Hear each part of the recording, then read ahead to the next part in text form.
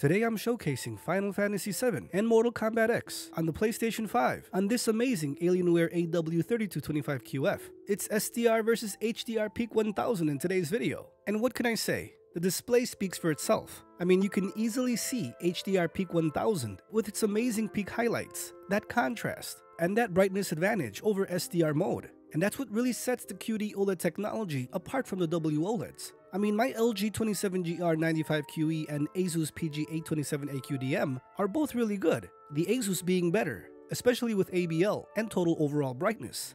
But QD OLED really is a step above.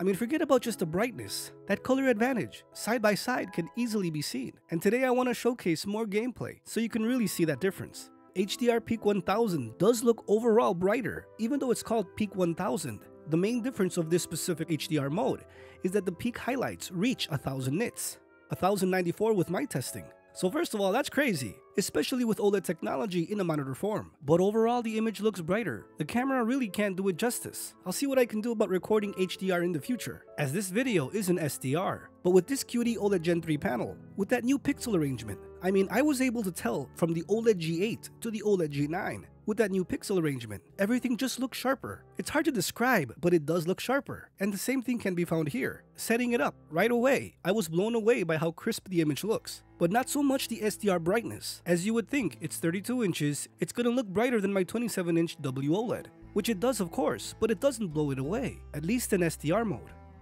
I mean the CGI here and the gameplay coming up really look very sharp. I don't think I've ever seen this game look this good. I mean, I usually play at my 34-inch OLED G8, and that's with the peak brightness on high.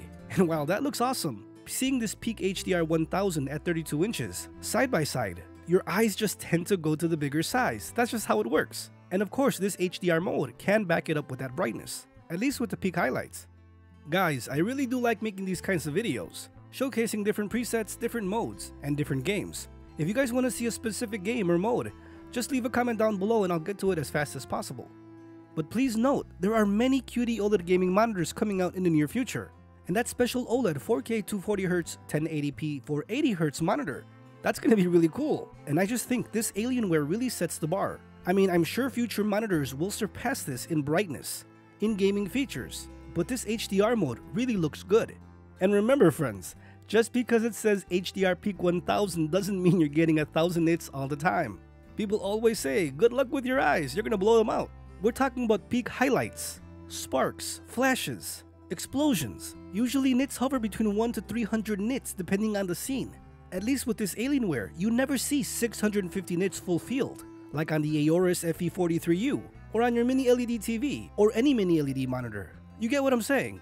The HDR Peak 1000 sets the bar, sets the limit very high for those peak highlights. But with SDR, the cap is at 270 nits. It won't go higher in SDR. And as you've just seen, the beginning part of this video, everything was lit up, the train passing through the city, the desert area. But when everything turns night and gets into the city, that's when OLED shines. Especially in Final Fantasy VII, when you make contact, the piercing brightness in HDR just blows you away, while in SDR, it's capped at about 270 nits. So seeing that difference in person just makes Final Fantasy a different game. I mean, that's what I think. It feels completely different you're more immersed. The sparks seem 3D-ish because that contrast is there. Now if the piercing brightness is too much for you, you can also select True Black 400, which like the name states, it keeps everything around 400 nits, so you get way less ABL. I mean, I haven't seen any on HDR Peak 1000, but still, if you're prone to seeing that, I would say it's easier on the eyes and would give you a fuller brightness picture than the HDR 1000 at the cost of those peak highlights. I mean, my personal preference, I'm just gonna keep it on HDR Peak 1000. It's really that good. I'm showing here SDR versus the maximum HDR power of this specific monitor. But if you want to see True Black 400 versus HDR Peak 1000, just let me know guys. I mean this year I do really want to get more hands-on on these monitors. I want to showcase more SDR versus HDR, OLED versus mini LED. There's so much technology coming out in the near future. I even want to showcase more Shadowplay gameplay. As one thing is you can see it on the screen that I'm showcasing, but I want you to be able to get that exact image. So check back very soon, as I will be introducing different formats to see which one takes off with you guys. More info and a variety of content, always friends, to help you make that awesome buying decision. I hope this video was helpful in showing you the differences between SDR and HDR Peak 1000. Like the name states, Those highlights are really amazing and can reach up to over 1000 nits and honestly really needs to be seen in person to really appreciate what the technology is doing. The Alienware AW3225QF is the first of its kind, and there's so many other monitors coming out in the near future. MSI, Samsung, Aorus, HP, and Asus. From a wide variety of gaming features to those heatsinks, we got a lot to choose from. So friends, if you found this video helpful, please hit that like button so more people can see it to help them make that awesome buying decision. Consider subscribing if you want more videos just like this one. Breaking news, versus videos, gameplay showcases, and live streams, all coming to you in new formats in 2024. Thanks for watching friends. Stay safe out there.